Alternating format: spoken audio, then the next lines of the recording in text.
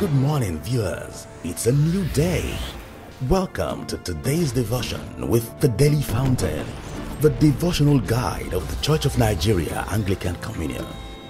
Invite your family and friends. Get your Bible and your Daily Fountain manual while our devotional leader takes us on today's devotion. Good morning, dear viewers. I welcome you to the daily devotional guide of the Church of Nigeria Anglican Communion. Today is Friday, January 13, 2023. Our topic to guide a morning meditation titled Be Careful. Let us pray. Father, we commit our spirit, soul, and body into your hands. We pray against all manner of waywardness, all manner of unseriousness that has befallen humanity today. Lord, we look unto you. You are the only God who can transform us. We pray that the privileges and opportunities you have given us, we will not abuse them. We will not use them for our own ruins. Help us that in the means of making choices, we will be careful what we say. We'll be careful where we go. We'll be careful what we eat. We'll be careful the people we mingle with. We'll be careful of our environment. Help us, O Lord, that as we eagerly await the second coming of our Lord Jesus Christ, our lives will be rapturable. Blessed be the name, O Lord. In Jesus' mighty name we have prayed. Amen. People of God, our Bible reading is taken from the book of Genesis, chapter 18. I want to read from verse 16. Please let's read together. Genesis chapter 18. I want to read from verse 16. Then the man rose from there and looked towards Sodom. And Abraham went with them to send them on the way. And the Lord said, Shall I hide from Abraham what I am doing? Since Abraham shall surely become a great and mighty nation, and of all the nations of the earth shall be blessed in him. For I have known him in order that he may command his children and his household after him, that they may keep the way of the Lord to do righteousness and justice, that the Lord may bring to Abraham what he has spoken to him. And the Lord said, Because the outcry against Sodom and Gomorrah is great, and because their sin is very grave, I will go down now and see whether they have done altogether according to the outcry against it that has come to me. And if not, I will know. Then the men turned away from there and went towards Sodom. But Abraham still stood before the Lord. And Abraham came near and said, Would you also destroy the righteous with the wicked? Suppose there were 50 righteous with this, in this, within the city. Would you also destroy the place and not spare it for the 50 righteous that are within it? Far be it from you to do such a thing as this, to slay the righteous with the wicked, so that the righteous should be as the wicked. Far it be from you. Shall not the judge of all the earth do right? So the Lord said, If I find in Sodom 50 righteous within the city, then I will spare all the place for their sakes. Then Abraham answered and said, Indeed, now I who I am, but dust and ashes, have taken it upon myself to speak to the Lord. Suppose there are five less than the fifty righteous, will you destroy all the city for lack of five? So he said, If I find there forty-five, I will not destroy it. And he spoke to him yet again and said, Suppose there shall be forty found there. So he said, I will not do it for the sake of 40. Then he said, Let not the Lord be angry.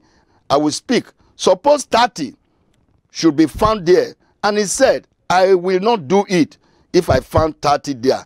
Then he said, Indeed, now I have taken it upon myself to speak to the Lord. Supposing, suppose 20 should be found there. And he said, I will not destroy it for the sake of 20. Then he said, Let not the Lord be angry, and I will speak but once more. suppose 10 should be found there. And he said, I will not destroy it for the sake of 10. So the Lord went his way as soon as he had finished speaking with Abraham, and Abraham returned to his place. This is the word of the Lord. Thanks be to God. People of God, today's topic, very, very instructional. He said, Be careful. Yesterday we saw how God's visitation to the house of Abraham brought blessings to the family. As we notice in today's text, the extension of that same visit to Sodom and Gomorrah brought judgment to the city. While Abraham was busy interceding to save the people of Sodom and Gomorrah, they were busy enjoying the destructive pleasures of sin. Abraham pleaded with God to spare both cities if he could find them 10 righteous people in that city. People of God, today the death of Christ is salvation to those who receive him as their Lord and personal Savior. While for those who did not receive him, it is condemnation, as the book of John 3 18 said it. Be careful how you live. You can make or mar your life based on the choices you make as well as the action you take in life. I want you to know here that God created man as a free moral agent. A free moral agent who was also given the power to make choices. Let me let you know that the life you live is a trust entrusted unto you by the owner. You are not the owner of your life. You boast both sides, heaven and earth. You speak and talk as if nobody can do you anything. Let me let you know our life is just like the grass that withers away. God is sending a signal and a warning, and He says, In this new year, be careful. What brought destruction to the people of Sodom and Gomorrah, and especially to the family of Lot, that's where we are so concerned, was because they were not very careful. And that's why God is addressing us today. It's a new year. He wants us to make the best out of the year 2023. And the, one of the sure way by which we can arrive our promised land with all the blessings of God on our side is to be careful how we live our life. One good thing I must let you know is that you are responsible for your actions. Every action you take today will either make or mar your life, your eternity, or your progress. And I must let you know there is what we call the perfect will of God and the permissive will of God. When your choice is in line with the perfect will of God, you are sure of making eternity. You are sure of making things right, even as you live your life here on earth. But when your choice is not in line with the perfect will of God, but is in line with the permissive will, be rest assured what follows is disaster. What follows is ruin. Now, certain things played out in the life of Job and his family from the passage we have just read. The same divine visitation as we saw yesterday that brought blessing to Abraham and Sarah was the same divine visitation that brought judgment upon the land of Sodom and Gomorrah because of carelessness. Now, we want to establish certain fact leading to the role Abraham played to the destruction that came. We saw, number one, a revelation. Now, Abraham was given a revelation of what was about to happen. Why was that possible for Abraham? Because he had a relationship with God. People of God, you cannot go far in life if you have no relationship with God. You will be a man who will not have knowledge and revelation of your time, when you are not in tune with God. It takes a man who has encountered God to have a revelation of his time and of the future. Abraham was given revelation about what is about to happen to the land of Sodom and Gomorrah. Mind you, Abraham's nephew was in that land. You can see what your presence can bring, the way your presence, your presence as a believer can even work the salvation of other members of your family. And then we saw again here, there was a reputation. When Abraham was getting revelation because of his personal relationship with God, there was also a reputation given about the people of Sodom and Gomorrah that they were people who were involved in sodomy, sexual immorality. I want you to know there will always be a reputation about you. What is God saying about you today? That's where the area where God is asking you to be careful. What is God saying about how you talk? What is the reputation of heaven about the association you keep? What is the reputation of heaven about your utterances, about your reaction, about what you eat, about what you wear, about where you go? These things are very important. I say it is it is it is it doesn't matter. Let me let you know what you say does not matter. They are the matters arising before God. Now we saw revelation playing out giving Abraham a clear perspective of what was about to happen. Let me let you know when you have a relationship with God, you will not be killed by any man. You will not die another person's death. And God will always give you a revelation through dreams, through vision about what is, a, what, what is about to happen. You will never be taken unawares. A man who walks with God, who has the grace of God upon his life, can never die like a man who has no knowledge. And that's one thing you must know today. Abraham had that revelation. And so, see what Abraham did again. Number two, we saw a negotiation. Because of the revelation Abraham had with God, as a result of the relationship, he was able to have an idea about the reputation of heaven concerning Sodom and Gomorrah, where his nephew lives. I want to let you know when you are in tune with God, what your children do outside where you stay, God will give you a revelation. What happens in your business when you are not there, God will give you a revelation. If there are manipulation going on in the spiritual world against your life, against your peace, against your, your fruitfulness, God will give you a revelation. One of the things revelation plays out is that it helps you to strategize. Now we saw a negotiation. Because of that revelation, Abraham negotiated with God. Abraham negotiated with God. God, if you have 50, will you destroy? God says no. He brought it to 45, he brought it to 40, he brought it to 30, he brought it to 20. Abraham brought it to 10. Abraham was disappointed. May you not be disappointed. Most times, God gives us revelation about what goes on around us. Many of us will be disappointed. Abraham never knew that where his nephew with the foundation he gave, uh, he gave Lot, Lot could not evangelize 10 people, not even his children.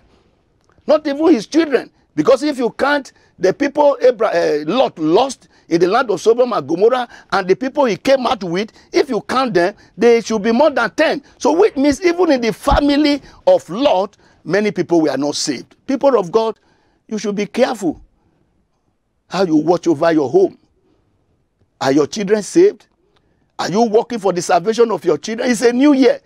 Don't say it does not matter. Children are beginning to behave in an awkward manner and things you don't understand. Don't tell them this is the modern time. Modern time with end time realities. I pray our children will not become casualty of our time in the mighty name of Jesus. So, people of God, when you have revelation of God, you will be able to negotiate with God. He negotiated with God with the hope of bringing salvation to the land of Sodom and Gomorrah. Then the third one came out, we saw a confrontation. Confrontation. What was that for? The people of Sodom and Gomorrah, the angels of God had to confront them because of their evil mindedness. I pray for you today as you take extra care about where you go, about people you mingle with, about what you do, how you go about the work of your faith, may God intervene in your situation. And may God, by the grace of God, shut up the mouth of the lion who want to devour you. God confronted them. May God confront your enemy. May God confront every sin in your life, in your environment, in your home, in the mighty name of Jesus. Then we saw again a destruction that follows. When God confronts sin and confronts evil, and when there is no repentance, destruction follows. And that is to tell you, people of God, destruction, judgment is coming. Let no man deceive you. And that's why God is calling you today. He said, Be careful how you live your life. We are in the electionary period. Now, politicians are coming, canvassing for vote. Be careful what money you are taking, what that money is for. Be careful. We have suffered enough in this country. Be careful who you vote for. Let me let you know the situation we find ourselves in Nigeria is even worse than what was seen in the land of Sodom and Gomorrah. And we saw how God brought joy, and God is very lenient with us. God loves us so much. Baba, we praise you. You love us so much. Destruction would have long come upon Nigeria. But for the fact that God spared Nigeria up to this day, I know there is a bright future for Nigeria. And I know God is going to turn the fortune of Nigeria around in the mighty name of Jesus. People of God, it's important we understand this here. God is asking you to be careful. Be careful how you raise your family. Be careful where you go, the association you keep. He said, Be careful. And we can see here they took God for granted. Lot took God for granted. The, the wife took God for granted. You can imagine, he was careless. He had opportunity not, the Lot's wife had opportunity not to have died, but she chose to die. It was a choice. You want to live is a choice. You want to die is a choice. But I pray you will choose life and not death in the mighty name of Jesus Christ. So we can see what played out here, which is very important. And there are lessons I want us to quickly bring out from this very uh, episode we have just read.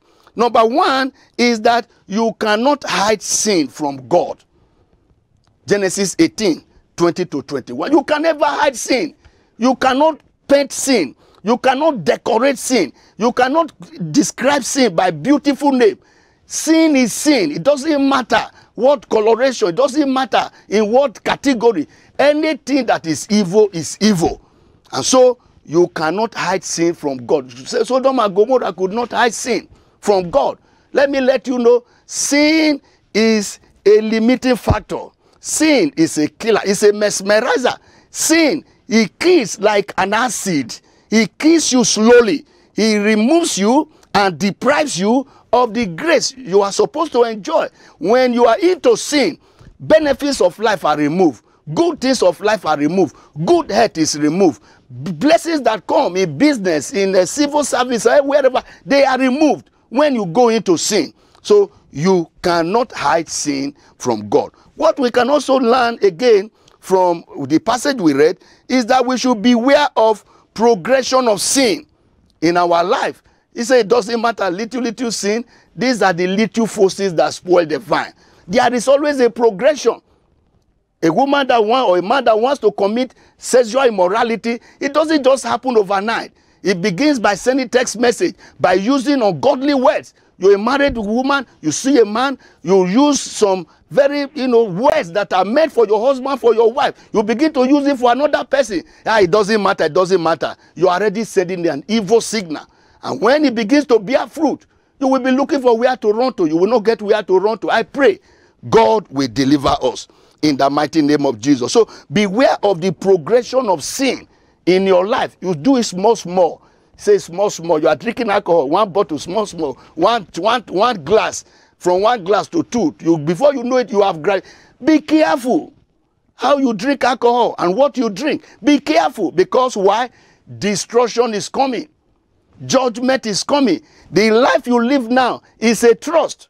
And wherever there is a responsibility, there is an accountability. You are an, an accounting officer of your life. You will be called to question. God will call you one day when the time comes and he will say, Tell me how you have, and you say, How will he know? God has put many things stand by to monitor whatever you do. God is all knowing. Number three is that there is the coming judgment is real. We can see Sodom and Gomorrah. They never knew judgment was going to come. They thought they could sin and go and go scot free. But you can see, Bible says the cry of Sodom and Gomorrah went straight to heaven, and God decided to come. Let me let you know when your sin there is a, there is an expiring date. Don't say nobody knows what you are doing. You are still enjoying the grace. There is an expiring date. It gets to a place when your cup is full, you have nowhere to run to. And I pray you will not wait for that time to come. Now that you hear the word of God, the grace to repent and turn fully to God, receive it now in the name of Jesus. There is a coming judgment, and that coming judgment is very real. Number four, you cannot suddenly drift into godliness. Heaven is a prepared place for a prepared people. Don't say God will become so annoyed with you that he will throw you. With that annoyance, he will throw you past, heaven, uh, past hell into heaven. You say, I don't know where you are getting that teaching from. I don't. You cannot suddenly drift into godliness, into holiness when your life is character. Bible says, by their fruits we shall know them. What fruits do you bear? What do people know you for? What is your name actually? The name you bear now, is that is that actually the name people call you? What is the name you bear in the reality? Be careful what you do. The big eye is watching, and one day it will catch up with you. Number five, become an Abraham to the Lord's in your life. You saw what Abraham did. It's a lesson we can bring out. Abraham became an intercessor. How often do you pray for your home? Be careful how you handle spiritual things, how much you take the, the, the, the, the challenges and problems of your family to your family altar. Every month you have a family altar. Abraham interceded for, for Lot, and that was his intercession, was what made led to the salvation of Lot and his family, even though his wife eventually disobeyed and became a pillar of salt. So become an Abraham to Lots in your life. There is somebody God is asking you to intercede for today. There's a member of the family who is behaving waywardly, who is not measuring up. Something is going on somewhere, and God is saying, Take out time to pray. Be careful how you listen to the voice of God and what you do with the revelation and message you get from God. Number six, the world is bound to laugh at what is happening. We can see they took it for granted. They make they thought it was a laughing stock. Uh, the angels coming, what can they do? They were even trying to have carnal knowledge of the angels of God. The men of Sodom wanted to have carnal knowledge. And so they were thinking it was an, an avenue to laugh and to scorn and to ridicule God. But let me let you know what you meant, what you what is meant or prepared to serve as a ridicule into the name and the work of God will turn out to be a boomerang. And these people never knew their destruction was coming. The world was busy laughing at what was happening, but that laughter was soon changed to sorrow. May your joy never be turned to sorrow in the mighty name of Jesus. We saw bad influence. Environment is very, very influential. It's important where you send your children to, the kind of schools you send them, the environment you send them. And now on holidays, where do you send them to go and spend the holidays? Environment is important. Who are the friends of your children? Who are their peers? Have you taken time to find out who th those boys and those girls are? Have you taken time to find out? Let me let you know bad relationship will certainly ruin the morals and character of people. There is what also the eighth point says compromise. We can see, apart from the bad influence that uh, uh, Job, uh, uh, uh, Lot had in, in the land of Sodom and Gomorrah, there was also compromise. You see, when judgment was about to take place, he, he was reluctant because of his financial investment, because of his daughters who are married, because of the friends he has kept. Quite well, he lost so many things, but there was that element of compromise. When you compromise your faith, you become a meat, pepper soup in the hand of the enemy. When you compromise the spiritual standard, things can never be the same again. The day you tell lies and you turn spiritual things around to become for evil, things can never be the same for you again. That is the more reason why you must not compromise your faith. Your faith is important. Your belief is important. You must hold your faith strong. You must defend defend your faith. You must stand out for Jesus no matter the challenges you face. Nigeria things are so hard. It's, it's difficult to feed. It's difficult to send children to school. It's difficult. Food now you can't even buy. So many things to feed is a problem. Money is not even there. But let me let you know, this is a time God is actually testing the faithfulness of his people. And I, like I said, a new Nigeria will come. A new Nigeria is coming. And I tell you, we are going to share the testimonies together in the mighty name of Jesus. God's mercies alone is what can save. God's mercies alone. Look at the mercy of God on Lot and his family. It is only God's mercy. So, no matter the relationship, no matter whoever has promised you anything, when God's hands is not upon it, I want to let you know it is going nowhere. So, it is only God's mercy that can save. Now, we saw again from where we read taking God for granted, taking the grace of God for granted, taking your blessings for granted. God has blessed you with numerous blessings. You have taken them for granted. Lot was very rich, was very wealthy, but he took so many of those things for granted. He never bothered about the spiritual life of his children. They married that to the extent he said, Come, come, let us escape. Yet those people did not respond. I pray we will never take the gift and life of God for granted. May we not take God for granted in our life. The grace to stand firm and do what is expected of us. May God give us that grace in the mighty name of Jesus. I pray for you today that as you go out, you will be careful. The grace and the power to be to be careful about the association you keep about where you go about what you eat about the kind of things you wear and what you say with your mouth. May god give you that grace in the mighty name of jesus because whatever that you like it or not god is coming to judge whatever we do here on earth. Help us oh god to position ourselves for your divine visitation.